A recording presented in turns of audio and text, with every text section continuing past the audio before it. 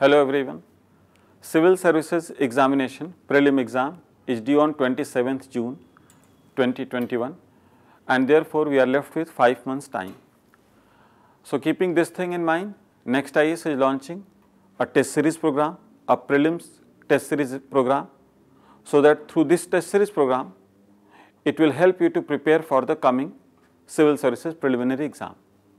And in this test series, we will not only focus on the quality of questions, but the focus will also be on how to solve the paper and how to eliminate the wrong options and reaching the correct option. And the questions will be designed in such a way that it will help you to get an understanding of the complete topic from where the questions have been asked. And the discussion will be taken by the eminent faculties.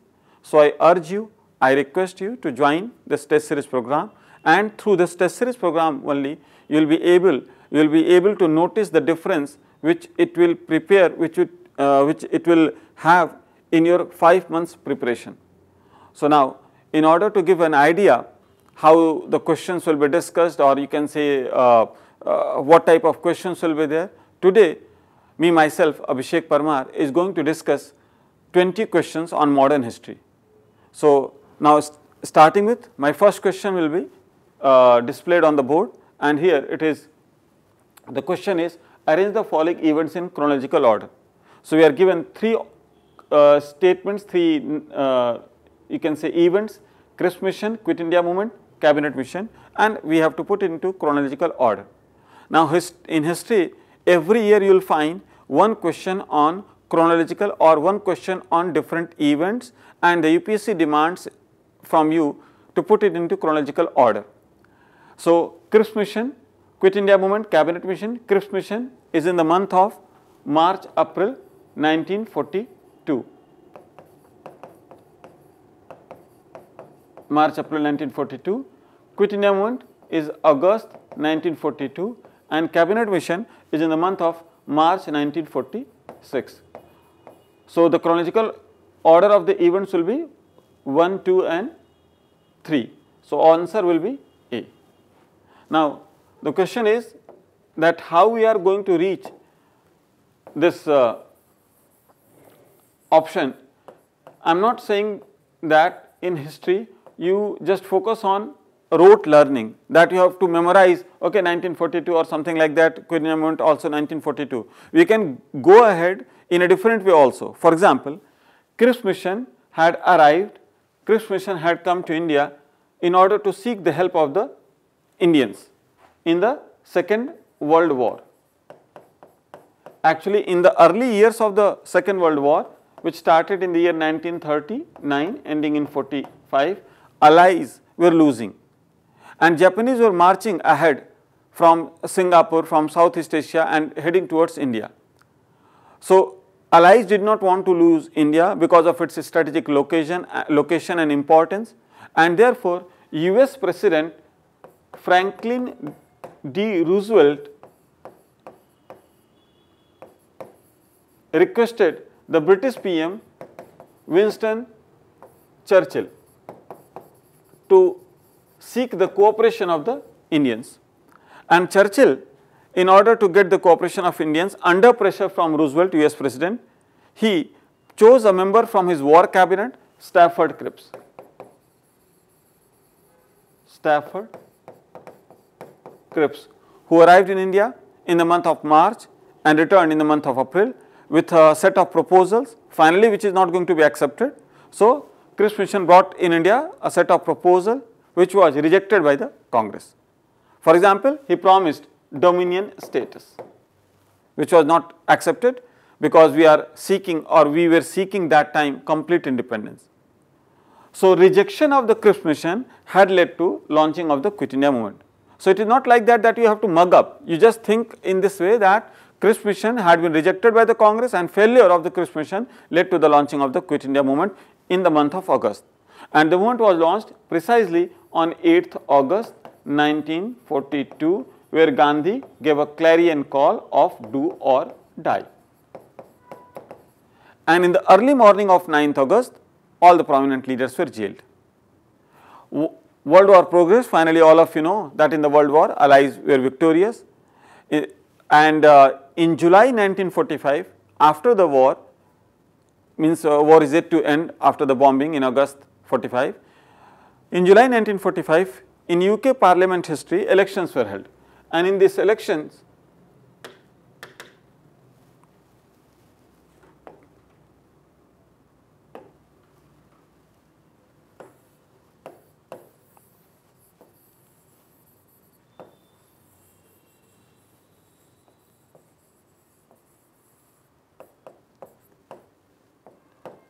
and in the elections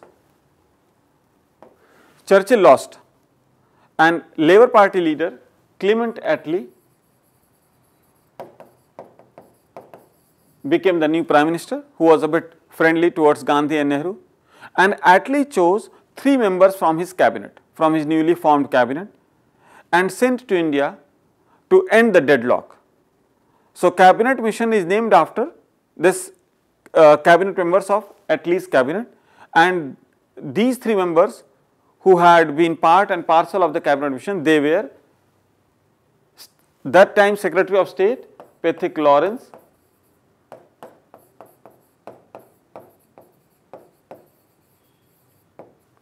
another whom you have just known Stafford Cripps,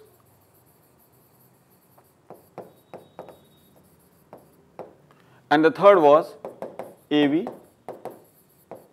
Alexander. So, cabinet mission had arrived precisely for two reasons. One, to solve the question of Pakistan and secondly, to convert the contemporary Viceroy Executive Council into an interim government. So, with this basically two purpose it had arrived. So, this is the sequencing of the events and the answer will be 1, 1 2 and 3, the uh, order will be 1, 2 and 3. So, A is correct. Next. With reference to the provisions of the Gandhi-Irwin Pact, consider the following statements. So, Gandhi-Irwin Pact was signed on 5th March 1931. March 1931 at Delhi. So, therefore, it is also known as Delhi Pact. This is also known as Gandhi-Irwin Pact is also known as Delhi Pact. Before this pact, before this Gandhi-Irwin Pact, there was a movement which was going on and that movement is called as civil disobedience movement which was launched by Gandhi by breaking the salt law by breaking the so, uh, salt law on 6th April 1930.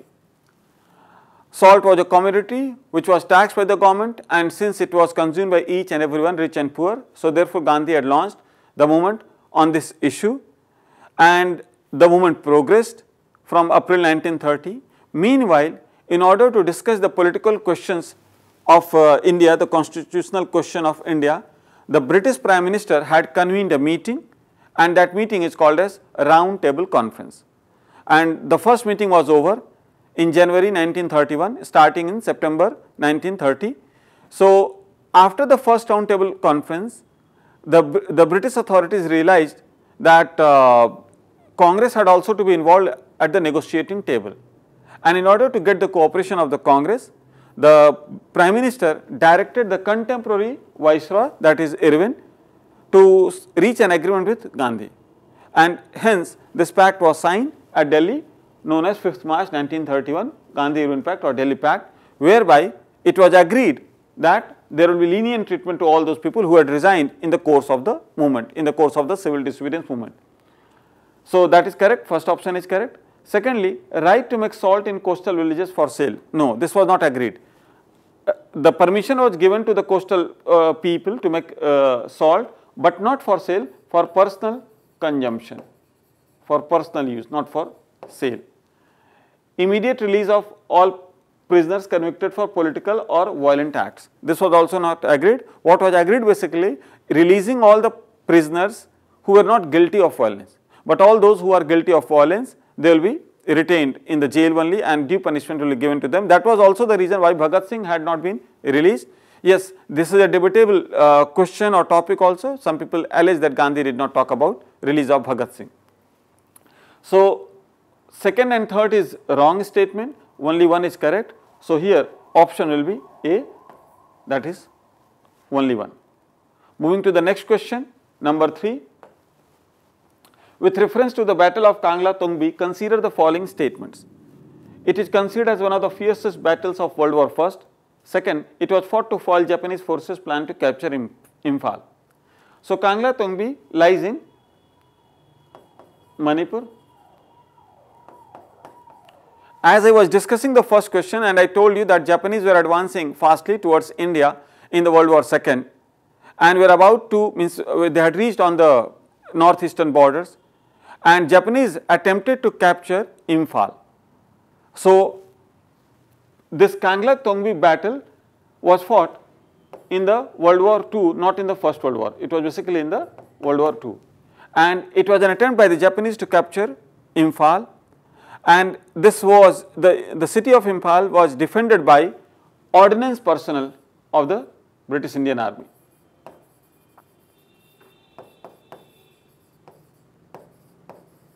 Ordnance personnel means those who were storekeepers basically, uh, where uh, arms and ammunition were stored. So, all those people guarding the store, they were involved in the war.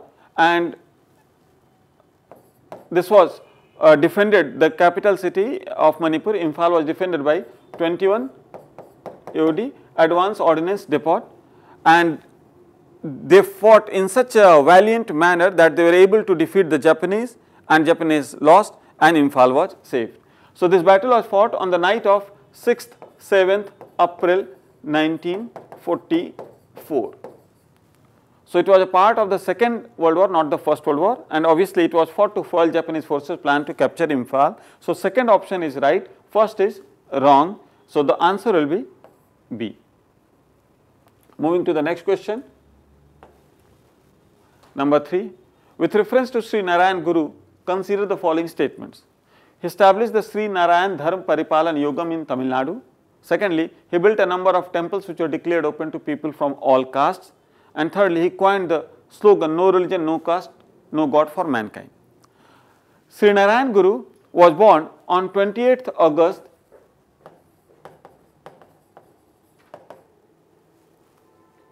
1855 in a caste which is known in Kerala as Ezhava caste. A great social reformer and his birthday is celebrated as Narayan Guru Jayanti. So, Narayan Guru, a spiritual leader, a social reformer who had travelled not only in Kerala and Tamil Nadu, but he had gone to even Sri Lanka and uh, throughout his life he had been preaching against the caste ridden society. So, in order to uplift the condition of the lower caste, he basically followed a two pronged approach, two uh, double way he tried to address this thing, this concern. First of all, he asked, he appealed all those people who were belonging to the Ezhava community that any of the people who are below this Ezhava community will not be following a policy of untouchability.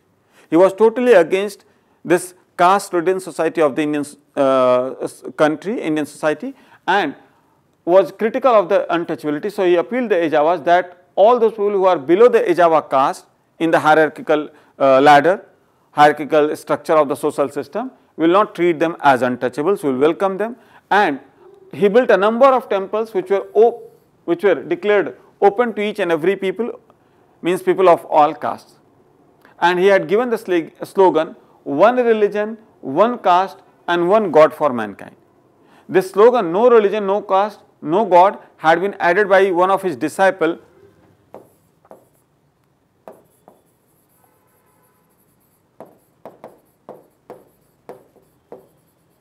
Sahodaran Ayyappan. Sahodaran Ayyappan had added this uh, you can say slogan no religion, no caste, no God for mankind and Sri Narayan Guru's slogan was one religion, one caste and one God for mankind. So, first statement he established the Sri Narayan Dharma Paripalan Yogam in Tamil Nadu. This is also not correct because it was opened in Kerala. He built a number of temples which were declared open to people from all all cast that is correct. He coined that is also wrong. So, consider which are correct. Okay. So, correct um, option will be only 2. So, answer is B. Moving to the next question class. Question number 5. With reference to Indian Universities Act 1904, consider the following statements. It was based on the recommendations made by the Raleigh Commission. Secondly, universities were given greater independence from the control of the governor. Third, the act increased university control over private colleges. Curzon, this, this act was passed by the government of Curzon and Curzon's period in India as Viceroy is 1899 to 1905.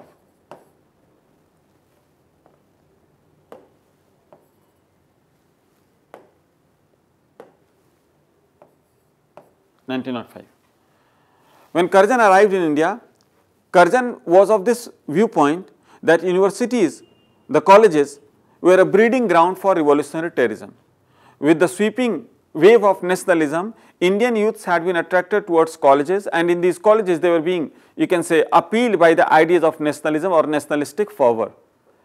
And to keep a check on the spread of nationalist ideas, Curzon did what? Curzon appointed a commission called as Thomas Raleigh Commission in the year 1902 and this commission was headed by Thomas Raleigh and based on its recommendations Curzon's government passed Indian University Act 1904. So, the first statement is correct it was based on the recommendation by the Raleigh Commission correct. Second universities were given greater independence from the control of the governor. No. Thereby the aim of the act was to keep control of the British government over the universities. So different provinces or you can say the governors of different provinces, they can veto the regulation passed by the respective senate of the universities. Senate was administrative authority of universities and in every university there was a senate which was the you can say regulating or administrative wing of the university. So, the power which was given by this act was that governors of that province where the university is situated, they can overrule the senate regulation. So, it was means you can say government established greater control over the universities. And not only that, the act increased university control over private colleges. So, over private colleges were also means uh, supervision was increased. So, second statement is wrong, first is correct, third is correct. So, answer will be 1 and 3. I have told you just now that act increased university control over private colleges actually from 1880 onwards in the next 20 years that is 1880 to 1900 there had been rapid increase of private colleges and Curzon he was of this viewpoint that in these colleges it was not basically uh, students are not concerned about the academic education rather they are joining the revolutionary or you can say militant nationalist activity and in order to keep a check the act was passed. So, answer will be B and second statement is wrong. Moving to the question number 6, consider the following rebellions during the colonial times and arrange them in chronological uh, manner. So, these are the various rebellions in the company's period and even post company period. So, in the 100 years of the British rule, 100 years means from 1757 to 1857 till the uh, revolt of 1857, there had been hundreds of revolt by the tribals, by the peasants, by the different groups like even sadhus and sannyasis. So, Kol rebellion covering present day mainly Jharkhand area, it took place in the year 30 to 37. Santhal rebellion was one of the most famous revolt in pre, uh, pre 1857 phase and this was in the year 1855 56 led by two famous brothers Sidhu and Kanhu. It was against the moneylender and British against all those people who were alien to the tribal land whom the tribals used to call Diku by this term. So, this is Santhal rebellion, Munda rebellion, it took place in the year 1899 by the tribes of tribes known as Munda 1900 and was led by famous leader Birsa Munda. Also known as this movement is also known as Ulgulan Ulgulan. Sannyasi rebellion in the period 17 1770 to 1800, whereby sadhus, sannyasis, they were forbidden, they were not allowed to visit holy places. So they had rebelled and this was in the period 1770 to 1800 in Bengal. Okay, this, this all cover in the Jharkhand region, the last one is you can say in the Bengal region and this rebellion had been covered in a book by Bankim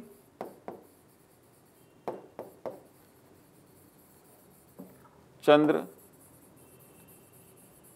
Chatterjee. His book known famously known as Anand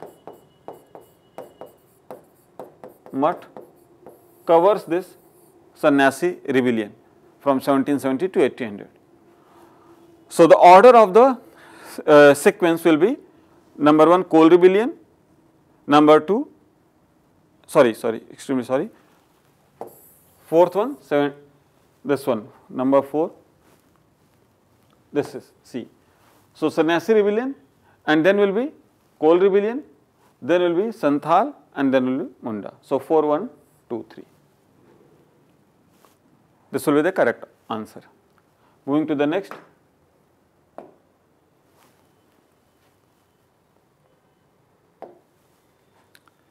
With reference to Kaisar-e-Hind, consider the following statements. Gandhi was awarded the Kaisar-e-Hind in 1915.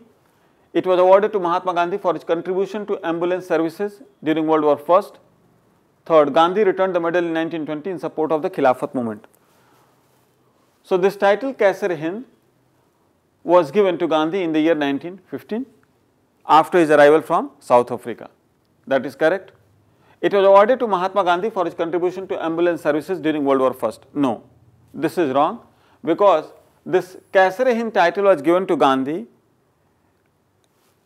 as a result of his contribution in the Boer War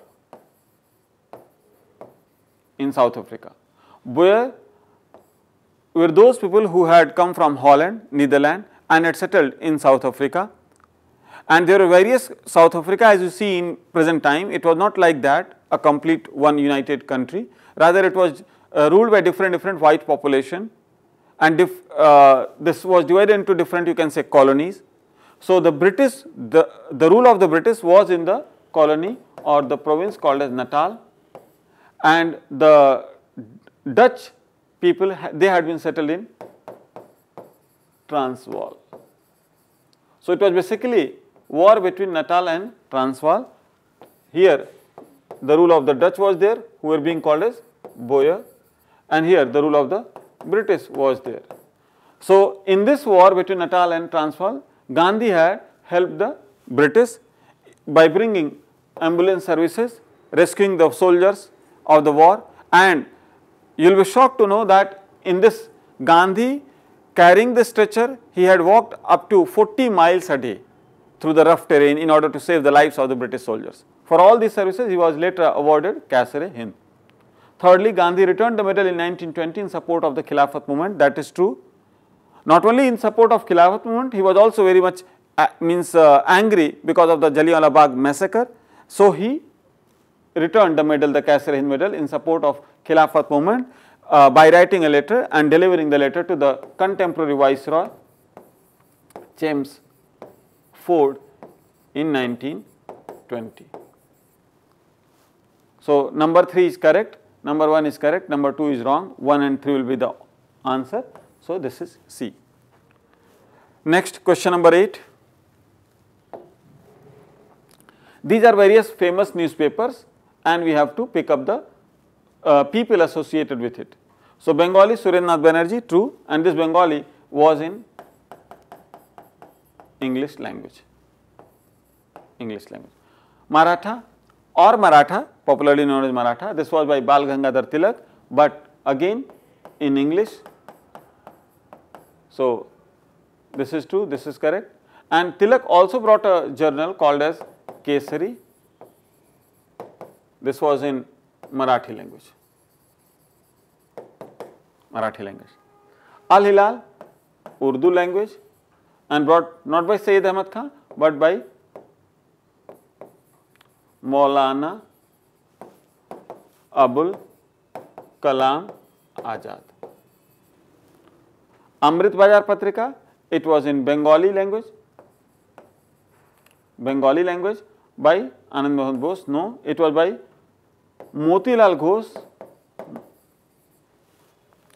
this was by Motilal Ghosh and Shishir Kumar Ghosh These were the brothers who had brought Amrit Bazar Patrika and the most interesting thing about Amrit Bazar Patrika that it was brought in native language, vernacular language, Bengali language. So, later in the year 1878, the contemporary Viceroy Lytton, he brought an act famously known as Vernacular Press Act, whereby greater control was established over the local newspaper, vernacular language newspaper. So, the paper, this Amrit Bazar Patrika overnight transformed into English language in order to escape from this vernacular press act of Lytton. So, 1 and 2 is correct, answer will be A. Next question that is question number 9, which of the following events took place during the tenure of Lord Curzon? We have just discussed one question earlier, Curzon's tenure 1899 to 1905 and you see passage of Indian University Act 1904 based on Thomas Raleigh Commission. Appointment of Famine Commission under presidency of Sir Anthony MacDonnell that is true and this Famine Commission was appointed in the year 1900 because of severe famine in the year 1899-1900 whereby large parts of South India, Central India and Western India were affected. So, Curzon appointed a famine commission. Curzon was also very able and efficient administrator apart from what you, were, you know that his reactionary policies were in India. But he was a very efficient administrator, administrator. So, in order to address the famine situation, he set up this commission under Anthony MacDonnell. And he also appointed an irrigation commission under the chairmanship of Sir Colin Scott Moncrieff, whereby this commission requested the government to spend 4.5 crore rupees and spread over 20 year period time for addressing the condition of agriculture. Last passage of the Sen Calcutta Corporation Act 1899. Class, in the municipal corporation earlier before 1899, there were elected members. The number of elected members were more than the nominated members. When comes to election obviously preferred by the Indians, Indians will always prefer election mode because nominated candidates will be nominated by the viceroy and he will be picking up the loyalist element. So, Curzon did what? Curzon brought an amendment to this act, Calcutta Corporation Act, which is called as Calcutta Corporation Amendment Act 1899, whereby he increased the strength of nominated members over the elected members. So, number of, number of nominated members in the Calcutta Municipal Corporation and its various committees were increased and these will be certainly loyalist element. Loyalist means uh, you can say uh, jamindars and uh, Br British officials or Indian officials, they will occupy Calcutta Corporation offices and its various committees. So, all these things had been done by Curzon. So, answer will be D. Next question number 10, moving to the next question, question number 10. With reference to Morley Minto reforms, consider the following statements. Whenever you find Morley Minto, Montagu, Chelmsford, the first is Secretary of State and the second is Viceroy. And he was Viceroy in India 1905 to 1910. So, Morley Minto reform also known as Indian Council Act 1909 it did what? It increased the number of elected members in the Imperial Legislative Council. Imperial Legislative Council means Central Legislative Council or you can simply understand Viceroy Legislative Council. So, it did increase the number of elected members in the Imperial Legislative Council. And this election however will be indirect.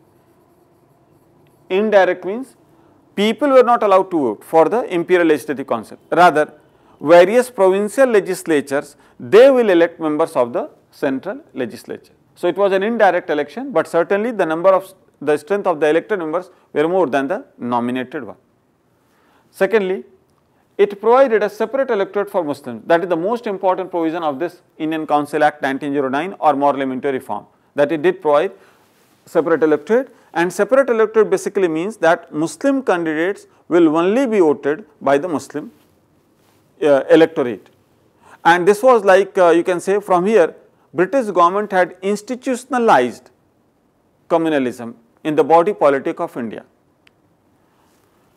Thirdly, under the provisions of the Reforms Act, Satyendra Sinha became the first Indian member to Governor General Executive Council. Certainly, S.N. Sinha became the first member and he was made as law member of the Viceroy's Executive Council. So, introduction of separate electorate created a race for the other minorities like Sikh people to demand for separate electorate and the next act Morley-Minto reform to uh, means after this the next will be Montagu Chelmsford which will include the Sikh also into the separate electorate scheme. So, number 1 correct, number 2 correct, third is also correct, answer will be D. Next question, 11 number. With reference to the terms of subsidiary alliance between British and Indian state, consider the following statements. The protected state was forbidden to have any political contact with other Indian powers without the permission of the British. Indian rulers were not allowed to have their independent armed forces. Thirdly, the ruler of the protected state should not employ European in his service without the sanction of the paramount power. Fourthly, the paramount power has rights to interfere in the internal affairs of the protected state. Subsidiary alliance class was an innovative system first of all designed and thought by the French governor Dupleix.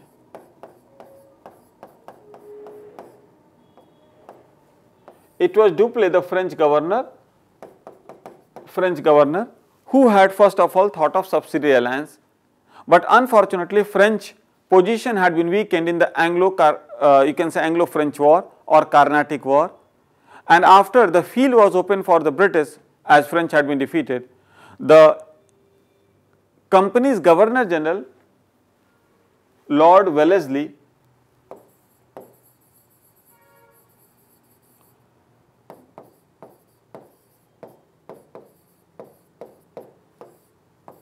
pursued subsidiary alliance in an aggressive manner.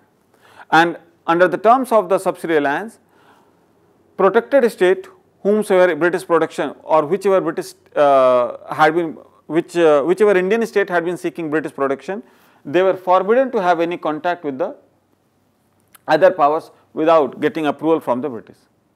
And they were also not supposed to have their independent armed forces because British maintained by this subsidiary alliance that if any third party, third power will attack on you, we are there to save you. But our troops will save you provided that if you bear the expenses of the troops, of the company's troops. Thirdly, the ruler of the protected state should not employ Europeans obviously. The ruler of the protected, protected state were not given the right to employ European and this was because Europeans were advanced in arms and ammunition in battle technique and they were a bit scared, company was a bit scared that if Indian rulers will be able to employ the Europeans, their arm strength will also be improvised or improved. Like in Ranjit Singh's state, he had employed French services and in case of um, uh, Scindia's, they had also employed European powers in their uh, state for better training, for better you can say combat uh, training for their own troops. Number 4, the paramount power has rights to interfere in the internal affairs of the protected state. No, paramount power had agreed that if you fulfill all these conditions, we are not going to interfere in your internal affairs. Internal affairs means means what amount of the rate of revenue will be there, whom you will be appointed as your uh, prime minister or wazir, that was all completely free for the Indian state or the ruler was free to take his own decision. So, going by this, the first state which had signed subsidiary alliance, it was the Nizams of Hyderabad in the year 1798. They had signed subsidiary alliance for the first time in the year 1798. So, first state to sign subsidiary alliance was Hyderabad, second was Mysore in the year 1799. Once Tipu was defeated and killed in the battle, then Wadiyars got back to power with the help of the company and subsidiary alliance was imposed on them.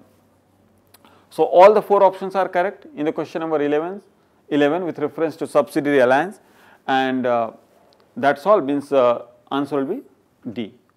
Next question that is question number 5. uh, sorry, question number 12.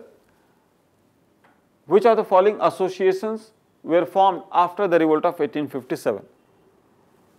After the 1857 revolt, which were formed? So, first of all class, we will come to that thing. Uh, I will tell you about these organizations also. The Indian Association, is, it was established in 1876 at Calcutta by S. N. Banerjee and Anand Mohan Bose. Indian Association got prominence by launching a protest against the decrease of the age when the age for the civil services was decreased from 21 to 19 years by Lytton. So, it launched a protest movement, Indian Association, established in the year 76 at Calcutta and its second session was held at the same venue Calcutta in the year 1885 and that is the reason why Surendranath Banerjee was not able to participate in the 1885 inaugural session of the Indian National Congress which was held at Bombay. The Atmiya Sabha was a small group of select followers of Ram Mohan Roy whom Ram Mohan Roy would teach about monotheism and uh, you can say uh, evils of the caste system and this was established in the year 1815. British Indian Association, it was established in the year 1851 and this was basically an organization of the landlords of Bengal in order means they, through this organization they wanted to protect their own interest means the landlord's interest not the people's interest. This was in 1851. Bombay Presidency Association was established in 1885 and this was by three people who are also known as brothers-in-law. They are Firoz Shah Mehta, K.T. Telang and the third was Badruddin Tayyibji, the first Muslim president of the Congress. So, all these three people had formed the Bombay Presidency Association in the year 1885. So, now question was about which were formed after the revolt of 1857. So, Indian Association and this one Bombay Presidency Association means 1 and 4. So, option C is correct. Next question number 13. The English East India Company set up factories at several places in the Indian subcontinent to promote their trade interests. In this context, what does the term factory imply? Factory as you know in modern times are the places where production takes place, or manufacturing takes place, but the factory word which appears in the early history of the company, East India Company, when they came to India and English East India Company uh, received permission from Jahangir to establish a factory at Surat. Captain William Hawkins, Captain William Hawkins visited the court of Jahangir seeking permission to establish a factory at Surat. So, in the early years of the history of the company's history, whenever the word factory is used, it is used as a trading depot, trading places. It was the base from where companies traders operated, not the modern sense of production. No production was taking place in these factories. And this word factory had come from the word factor the low paid employees of the East India Company basically for your understanding we can say clerks who used to maintain an account of the goods being placed there they were being designated as factor. So, it was basically the office of the factors and that is the reason why they are means these places are being called as factories. It was a manufacturing base? No, wrong. It was the place for arms and weapons? No none of the statements. So, answer is A. Question number 13 answer A.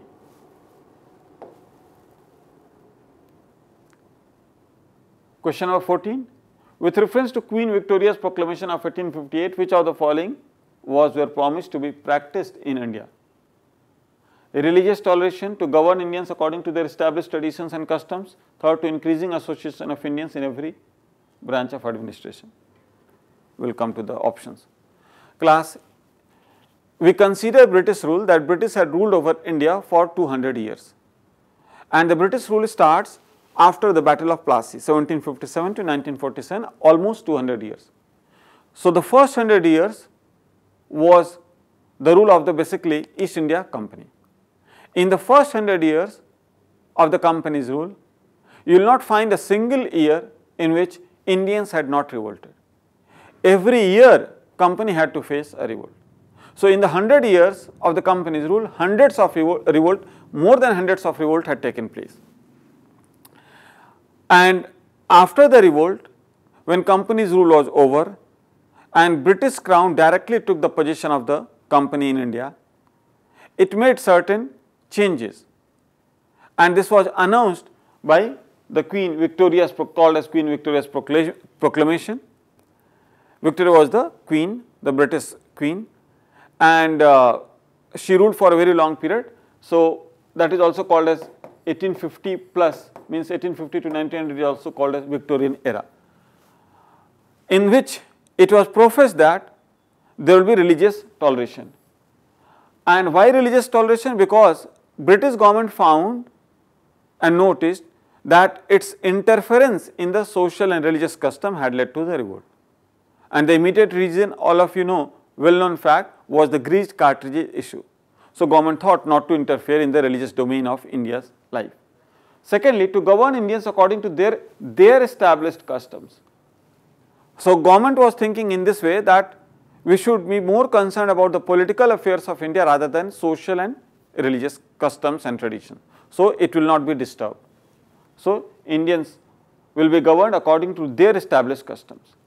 Thirdly, to increasing association of Indians in every branch of administration. No, this is not correct. Increasing association of Indians means it will lead to responsible government. And the road to responsible government, the process of responsible government starts after Montagu Chelmsford, Chelmsford reforms, Montagu Chelmsford reforms of 1919. Before that, it was not a professed policy to involve Indians in every branch of administration.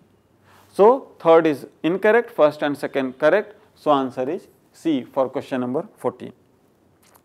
Moving to the next question, question number 15. With reference to social and religious movements in India, consider the following statements. Swami Dayanand Saraswati considered Vedas to be infallible and the foundation of all knowledge. Yes, that is true. Swami Dayanand Saraswati considered Vedas to be infallible. Infallible means that Vedas do not have any mistake. They are, they are sacrosanct, they are infallible, they do not commit any mistake. And we, Saraswati had highlighted also the slogan, go back to Vedas and established Arya Samaj, Arya Samaj in 1875 at Bombay. Jyotirao Govindrao Phule from Maharashtra worked to attain equal rights for the lower caste. Jyoti Rao Govindrao Phule or Jyotirao Phule as he is famously known as, he belonged to a caste called as Mali. Basically, this word Phule had come from this, the family was engaged into providing flowers to the Peshwas and from where fool, fool, phule, fool matlab flower in Hindi. So, born in a Mali caste and was a great social reformer who was fed up with the caste ridden society and had criticized also the Congress that Congress is not taking measures to address the caste related problem of India. And for that matter he had established Satya Shodhak Samaj. Satya Shodhak Samaj in 1873. Satya Shodhak Samaj in 1873. And Govindra Jyotirao Phule had also written a very famous book which everyone should remember Gulam Giri. Thirdly, Justice Mahadev Govind Ranade encouraged education of women and promote widow remarriage. This is also true and for bringing social upliftment of women and uh, you can say lower caste people, he had also appealed for the increasing of the marriageable age for boys and girls. Govind Ranade, Mahadev Govind Ranade, he had established Prarthana Samaj. Prarthana Samaj at Bombay in the year 1867. So, which are correct? Number 1, 2, 3 all are correct answer is D. Next question, question number 16. With reference to the events during partition of Bengal in 1905, consider the following statements. The official reason cited for partition of Bengal was to meet the demand of Muslims in East Bengal for separate province. No, this is not correct. Official reason cited Bengal was divided on 16th October 1905 and the policy, the underlying policy behind it was Curzon's imperialist policy. Curzon who had been considering Bengal as the epicenter of the rising tide of nationalism and in order to weaken the nationalism or nationalist forces, he thought to divide Bengal. But the official explanation he did provide was that Bengal was too big to be administered from a single capital.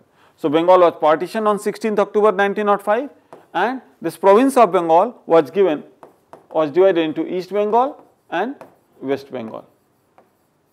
East Bengal of those time comprised Bangladesh plus Assam of present time and West Bengal of the present time mean sorry West Bengal of those time comprised the West Bengal of present time plus Bihar plus Jharkhand plus Odisha. And the clear aim was to you can see in the East Bengal what was done Muslims were more in number than Hindus and in the West Bengal Hindus were more than Muslims. So, in order to create a religious division this has been done, but the official excuse was that Bengal was too big to be administered from a single capital, it was not demand of the Muslim. So, this event was withdrawn after the two parts of Bengal were in, reunited in 1907, no, it was united in 1911. So, Swadeshi movement was withdrawn finally or it came to an end finally in the year 1911, though the movement had been weakening after the Surat split of 1907. And this annulment of the partition of Bengal was announced in Delhi Darbar. There was a Darbar held in Delhi in the year 1911 and Lord Hardinge, the viceroy at that time, he announced that Bengal would be, uh, you can say, uh, uh the, this Bengal would be united. So, neither first statement is correct, neither second is correct. So, answer will be D. So, next question, question number 17. Consider the following statements. Butler Commission was appointed to involve more Indians in civil services. Lee Commission was appointed to examine the relations between the native states and the paramount power. Both are incorrect. In fact, Butler Commission was to serve this thing that is examine the relationship between the native states and the paramount power and Lee Commission was appointed to involve more Indians in civil services. So, Lee Commission first of all Butler. Butler Commission is named after the chairman Harcourt Butler, Harcourt Butler and this commission was appointed in 1927 to examine the relations, what kind of relationship will be there between the princely states, between Indian princely states and the paramount power. Secondly, Lee Commission, it was appointed, this Lee Commission was appointed in 1923 and it was, it gave its recommendations in the next year that is 1924 whereby Lee Commission said what 40 percent of the top services that is civil services will be filled by British, 40 percent by directly recruited Indians, by directly recruited Indians and 20 percent of the post will be filled by promoted Indians. So, this was the recommendation of the Lord Lee Commission appointed in 23 giving recommendations in the year 24. So, neither 1 nor 2 is correct answer will be D. Question number 18 Next one, With reference to Anglo-Maratha wars, arrange the following treaties in chronological order. Treaty of Purandar, Treaty of Surat, Treaty of Salbai. First of all, I will tell you the years. So, Purandar is 1776, Surat is 1775 and Salbai is 1782. Now, one by one, I will explain the background of this treaty.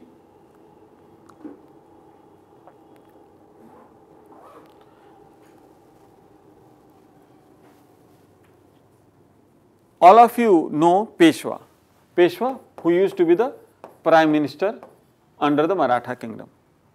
And the successive, the first Peshwa was Balaji Vishwanath, then came Bajirao, third is Balaji Bajirao, fourth is Madhara, next is Narayan Rao.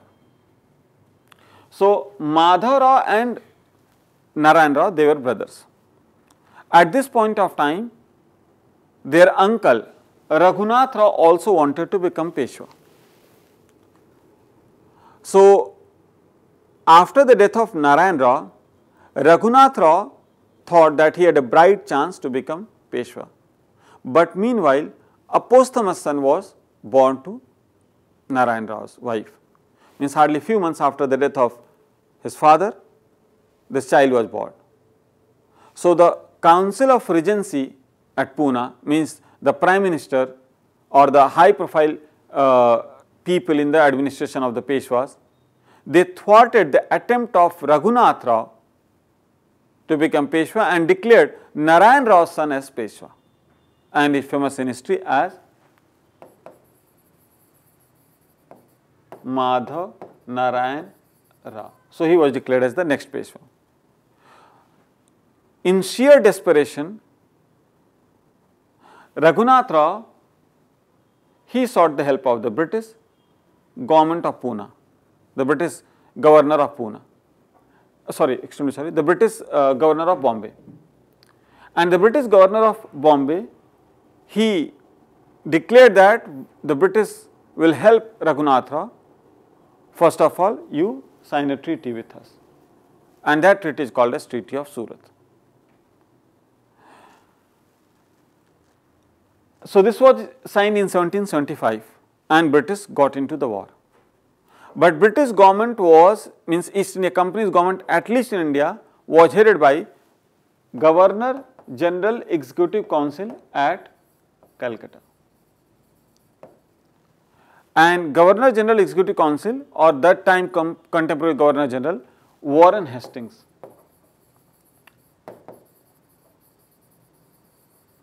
Warren Hastings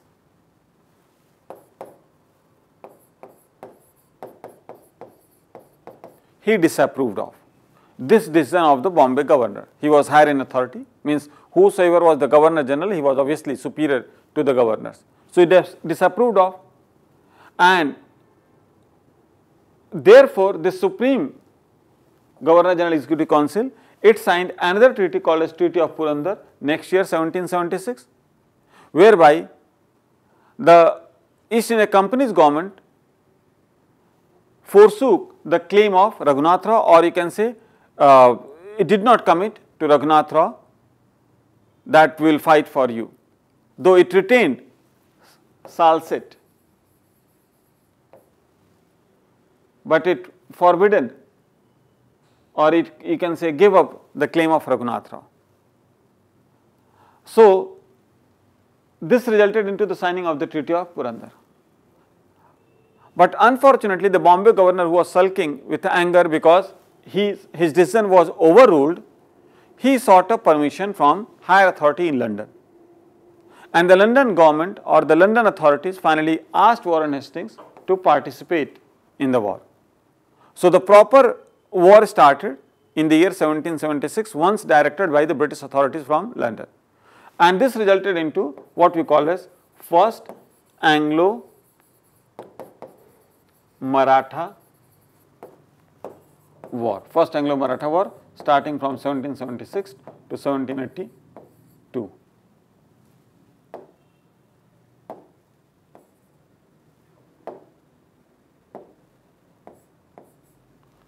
First Anglo-Maratha war 1776 to 1782 which ended in a stalemate or which ended in a tie and that resulted into the signing of the Treaty of Salbai, whereby both the parties agreed to return the, uh, to return the conquered areas of each other. So, it was based on mutual restitution of each other's territories. So, this is the order and select the correct answer, arrange the following events. So, first is Treaty of Surat means number 2, second will be number 1. So, C will be the correct answer. Treaty of Purandar, Treaty of Surat, Treaty of Salbai, C. Next question, question number 19. Which of the following were among the components of the constructive program adopted by Gandhiji as his framework for the new India after Swaraj? Communal harmony, women empowerment, prohibition, untouchability, removal, khadi. All are correct. In fact, which of the following were among the components of the constructive pro program adopted by Gandhiji as his framework for the new India after Swaraj? Not only that, this was the vision of Gandhi after getting independence, it was also a very much part and parcel of his mass movement.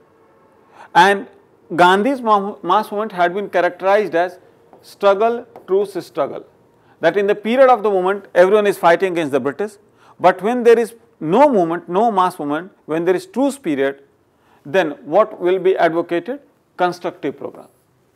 And in this constructive program, it was being appealed that leaders will pursue or leaders will appeal for communal harmony, will try to uplift the cause of the women.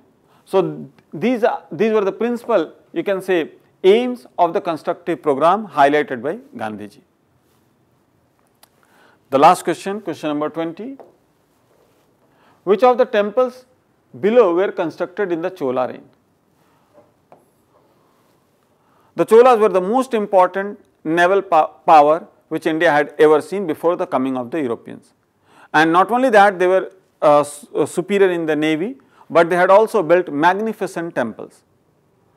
Like the Brihadeshwar temple built by Raj Raj first at